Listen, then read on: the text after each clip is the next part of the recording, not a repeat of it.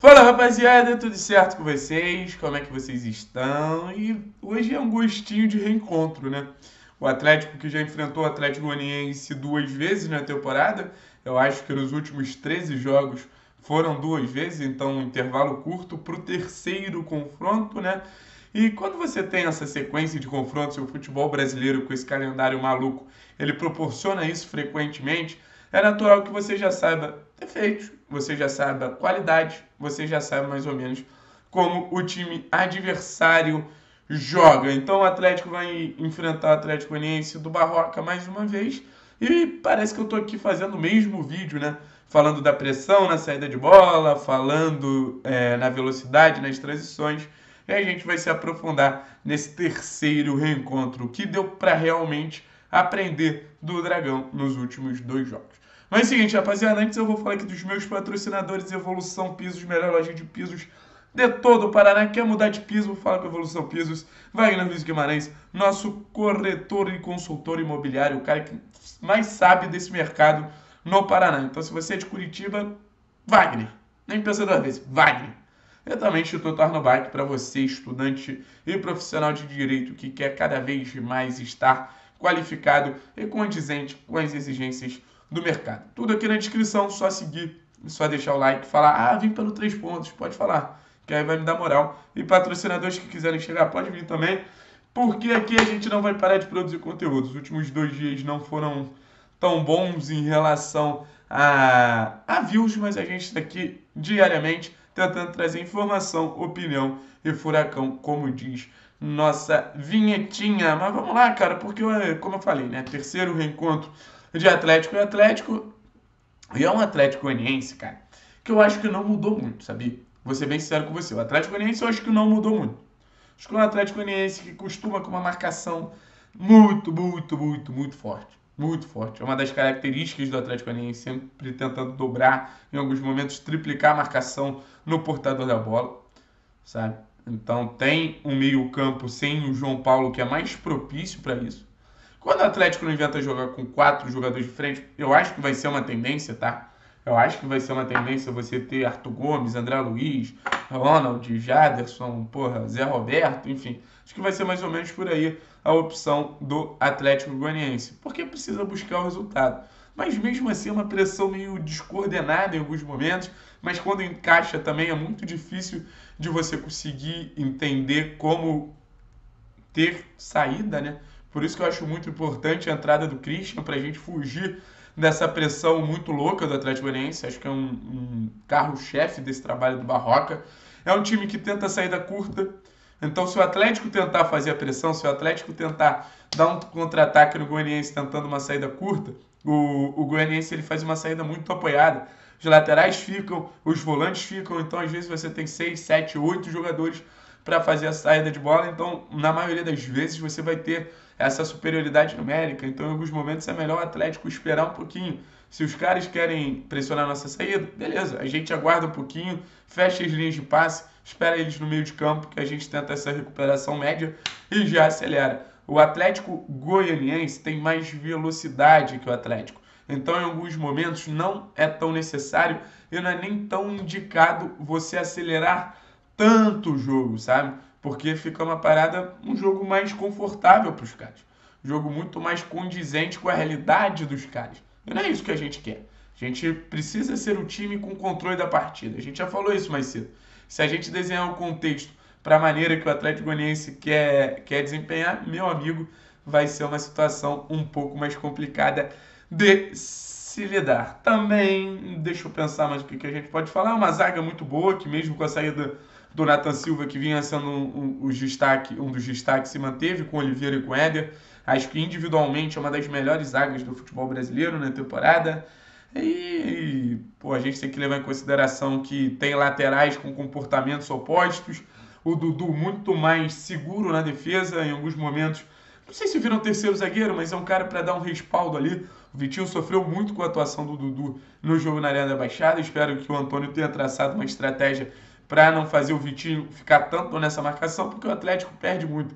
É um Atlético Paranaense que depende muito dos seus três jogadores atrás do centroavante, né? Um centroavante que já passou pelo Atlético Goianiense, inclusive foi o que eu falei, em alguns momentos, se a gente não tiver tantos motivos para se apegar na recuperação do Kaiser, que se apegue na lei do ex. Que se apegue na lei do ex foi, foi uma negociação um pouco chata para a gente buscar em relação à, à contratação do Kaiser na temporada passada, né? Mas enfim, é, acho que é um ponto a ser levado em consideração, assim como o Dudu marca forte, como o Natanael uma arma forte do outro lado, mas também deixa muito espaço, sabe? O Natanael, por dar assistência pro gol do Zé Roberto, o Nicão, pelo amor de Deus, Nicão. Pelo amor de Deus, Nicão. Ô, Nicão.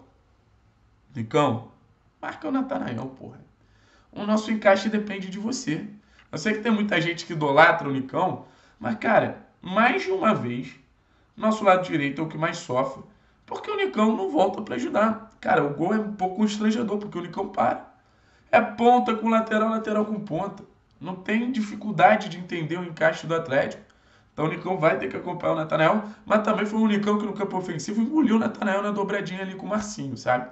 Marcinho e Nicão foram importantes demais. A vitória ficou muito é, pelo Terãs, né? Mas Marcinho e Nicão foram os dois jogadores que criaram as situações de gol que o Terãs finalizou com todo o brilhantismo. Então é um lado direito que eu acho que é mais poderoso hoje que o nosso lado esquerdo. Afinal, a gente não tem o Ábila, não acho que o Nicolas venha fazendo um papel ruim nesses jogos que vem atuando pelo Atlético, mas é um lateral inferior. Você tem o Marcinho como se fosse o Natanael dos caras e o Dudu como se fosse o Nicolas, um lateral que segura mais, um lateral que, porra, respeita mais a, a estrutura defensiva. Então acho que é um Atlético que, que tem algumas semelhanças com esse Atlético Goianiense. Vamos ver em relação ao Terãs também, como, como ele vai conseguir os desmarques, né? Se, se é um meio campo do Atlético Goianiense que busca muito é, encaixar marcações para a partir daí ter superioridade na hora da pressão, ter sobra. É, o Terence foi um jogador que ele se livrou muito bem voltava um pouquinho para buscar jogo, puxa a marcação e ataca o espaço que ele gera. Então, é uma situação assim que a inteligência do Terence não é só com a bola no pé. O jogo acontece demais sem a bola no pé. E o Terence vem correspondendo, correspondendo demais nesse aspecto também. E, cara, no final das contas, não acho que nenhum treinador vá inventar algo muito mirabolante para superar o outro treinador. É um confronto interessante de treinadores com boas ideias, assim. Eu acho que a gente falou de, de Marcinho, Nicão versus Natanael, e qualquer ponta que jogar pela esquerda.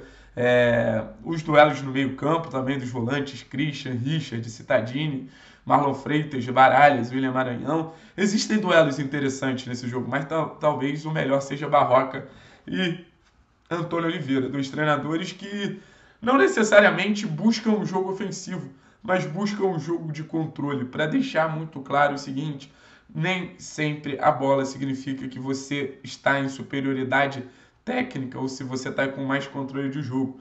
A bola é uma arma, mas existem outras armas. Enquanto o Barroca buscava só a bola, ele não conseguiu ser competitivo nos seus trabalhos em Botafogo e Curitiba. O Antônio já respeita mais, entende mais os cenários, mas acho que também deve ser provocado a ficar mais com a bola. O Atlético pode sim ter mais controle das partidas.